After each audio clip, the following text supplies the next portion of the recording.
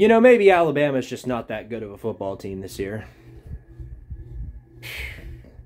If you live in uh if you live over here in Knoxville, you might have felt it, you might have not felt it, I don't know, but uh there was an accident close to where I live that knocked out the power and well, um we got it back after 30 minutes. Maybe it should have just stayed off though because right now uh, all it did was just give me the courtesy of uh, watching Tennessee absolutely get skull drug by Georgia.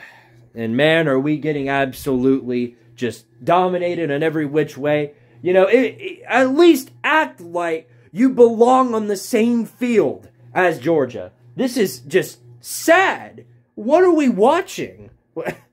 I guess this is what I get for having too much success as a Tennessee fan. Number one in the nation at that point. Uh, the football gods decided, all right, this is enough. Now it's time to uh, ruin everything. Uh, the way things are playing out right now, Hendon Hooker may be the farthest thing away from winning the Heisman. I don't care how bad C.J. Stroud played today. Uh, Hendon Hooker might just be uh, playing worse right now. This is just this is a joke. What am I watching? Is uh, since when did Jeremy Pruitt come back out and start coaching Tennessee again? This is just a joke. This is sad. What are we uh, seriously? What am I watching? Because this isn't the Tennessee football that I've been watching all year. So there's at least shows some sign of life in there. Right now, all I see is an incoming orange graveyard. That Sanford Stadium is just. Uh, uh, I mean, that that's the location at which where uh, the graveyard is at. This is just. Uh, I, I don't even. Where do I start? Gotta start where where, where we uh, usually start, where all our problems start. The defense. That's right. Uh, Tim Banks' legendary pass defense. Uh, fumbles the bag once again, gives up uh, 24 points. Honestly, a shocker that they didn't give up more. Had a fumble early in the game that thought, and I thought maybe that would have been something big for us, but no, no. Uh, we turn right back around and give it right back to him. More importantly, just let him go down the field and score. That's. That's that Tim Banks defense for you. Uh, no, the risk and reward defense. Yeah, 100% risk, 0% reward. That's what we got out of here. The only reward is seven points for the University of Georgia. That's, that's the reward that Tim Banks gives to our defense. This is just, golly.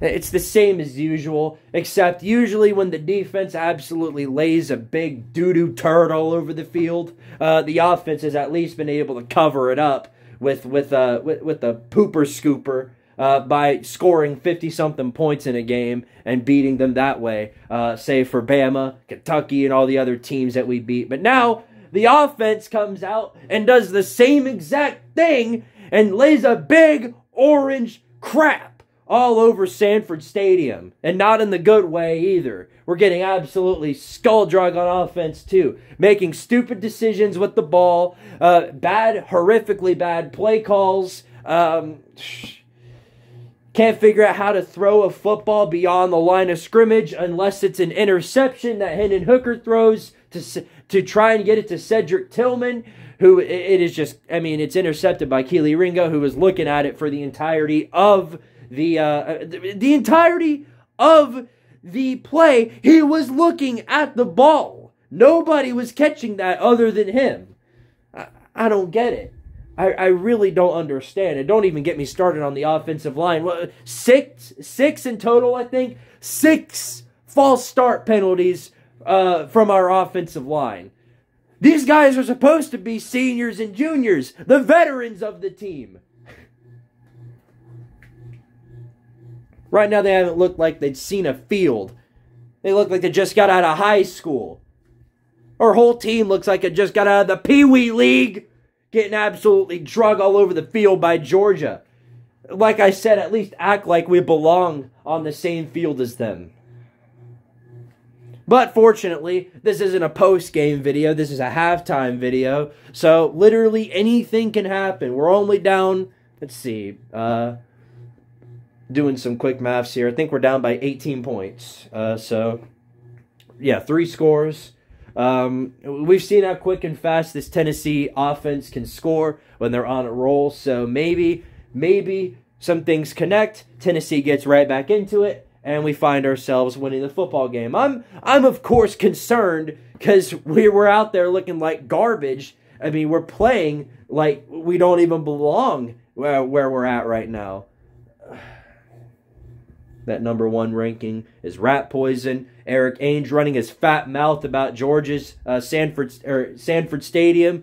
That Rat Poison too, because he, he did run, run his mouth real good about it. Oh, Sanford Stadium, it's not that big of a stadium. It's it's not that. Uh, it's really not that impressive. Tennessee is going to go in there do business as usual. Home field advantage doesn't matter if you're Georgia. Man, make you look like an idiot right now, huh? Golly. Um, what else? I, I don't really have anything else to say. I, you know, I sure do wish uh, our, our tempo offense worked. Uh, maybe if the officials would get out of the way and let Hendon Hooker do his thing. And what I don't mean, and I don't mean that in a figurative way, because yeah, we've had our fair share of penalties. I mean, literally, they are standing right in front of Hendon Hooker while he's running the tempo offense. what a joke! What a pathetic excuse for a bunch of officials. It gets I keep thinking that we've reached the bare low amount of how uh, badly these refs have screwed over some of these games.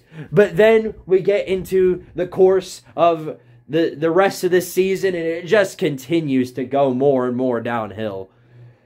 That being said, um, again, it's a miracle we're only down by 18 with the way George has been playing and the way that we have been playing. Uh, so, Josh Heupel's got to work some magic here. He's got to show that he's a big time coach, and this is the way to do it. And uh, same for Hooker, same for the defense, same for everybody else. Game's not over, and it's far from over the, with the way our offense can easily go out there and score, score, score, score, score. Uh, so, of course, there's still slimmers of hope within me. I'm not giving up on this team.